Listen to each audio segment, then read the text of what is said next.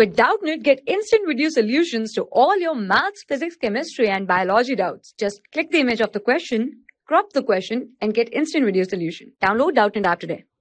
Hello everyone, if we talk about this question, this given question is a rope AB of length 5 meter and mass 2 kg is attached to a 6 kg block kept on a smooth surface and is pulled by a force of 40 Newton.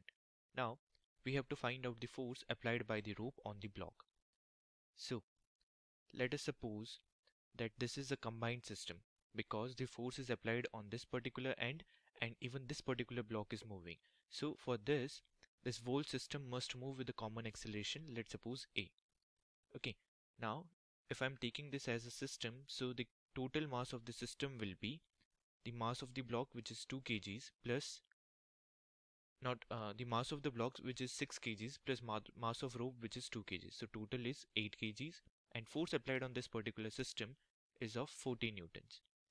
So I can write that force net force is nothing but mass into net acceleration. So from here I will be getting acceleration as force divided by mass. Now the total force is 40 newtons divided by mass is 8. So this is nothing but 5 meter per second square. This is the acceleration of the system. Now let us suppose that this is the rope okay and on one end the force is 40 newtons and let us suppose on other end the force is T which is the force applied by the block on the rope and similarly T force will be acting on the block also which is the force applied by the rope on the block.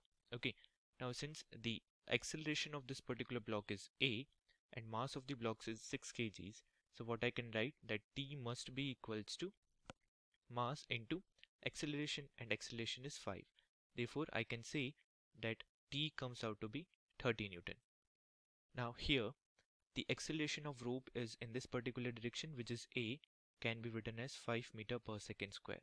So the equation comes out to be 40 minus T must be must be equals to mass of this particular rope which is 2 kgs into acceleration which is 5.